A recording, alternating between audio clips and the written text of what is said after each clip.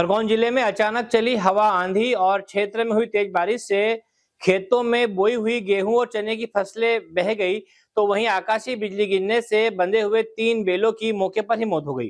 विकास खंड की ग्राम पंचायत शरदपुरा के पटेल फालिया में एक किसान बनिया पिता सदिया के बाड़े में आकाशीय बिजली गिरने से बंधे हुए तीन बैलों की मौके पर ही मौत हो गई। घटना की खबर लगते ही प्रभारी तहसीलदार महेंद्र सिंह दांगी ने पटवारी को पंचनामा बनाने के निर्देश दिए। वहीं बैल मालिक द्वारा बैलों की कीमत एक लाख के करीब बताई जा रही है। वहीं बैलों पर आकाशीय बिजली गिरकर मरने से परिवार का रो रो कर बुरा हाल है। ग्रामीणों द्वारा शासन से बैल मालिक किसान को उचित मुआवजा देने की मांग की गई।